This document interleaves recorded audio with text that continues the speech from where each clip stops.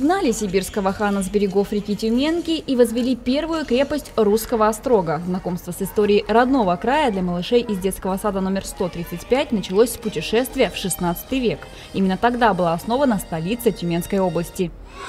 Пусть в нашей сказочной Тюмени все так же варятся пельмени. Галдит ребячья кутерьма, и как грибы растут дома. На протяжении уже нескольких столетий Тюменский край славится своим самобытным ковроткачеством. В день 75-летия региона ребята познакомились с ремеслом предков. Вместе изготовили полотно в традиционных цветовых оттенках.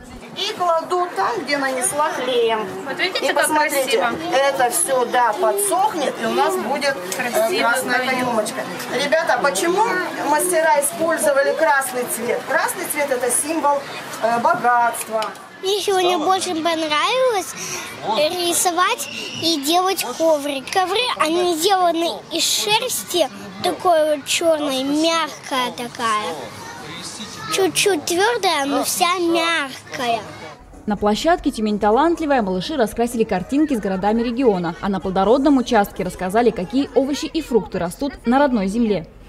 Капуста. Капуста. Перчик. Перчик. А это что? Что? Лук. Тюменская область – это наша малая родина. Это, это там, где мы родились и там, где мы живем. В перетягивании каната победила дружба. Куда более сложные задания ребятам дали пернатые из тюменских подворий. Ни одного будущего птенца участники эстафеты не уронили. Переносили яйца, еще их пили, перетаскивали. Да, сапогах. Да. Э, На, на это... На ручках. На ручки одевали сапоги и брали курицу вот так и несли туда-сюда, туда-сюда.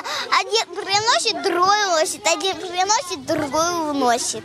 Общие для родителей, малышей и педагогов познавательные праздники проходят в 135-м детском саду несколько раз в год. Но проект такого масштаба здесь воплотили впервые. В разработку сценария проекта включились все, и наши педагоги, и наши родители. Сегодня вы видели, наверное, что э, многие родители как волонтеры выступали, и партнерство, сотрудничество наших детей и родителей приводит к тому, что мы создаем единую команду, команду единомышленников, и родители видят, как работают наши педагоги. Пока малыши путешествовали по станциям, хан Кучум, он же Сергей Пихи, перевоплотился в сказочника. Его дочка только второй день ходит в группу, а папа уже включился в жизнь детского сада. На волшебной поляне читал ребятам произведение Петра Ершова «Конек-горбунок».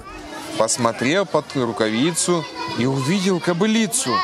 Кобылица-то была вся, как зимний снег бела.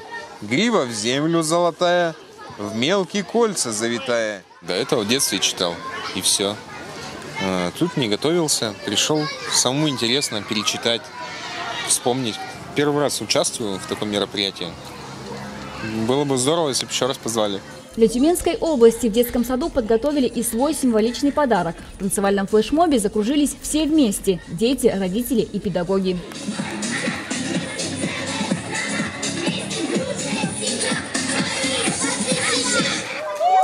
Хочешь узнавать новости первым? Подписывайся на Тюменский образовательный канал.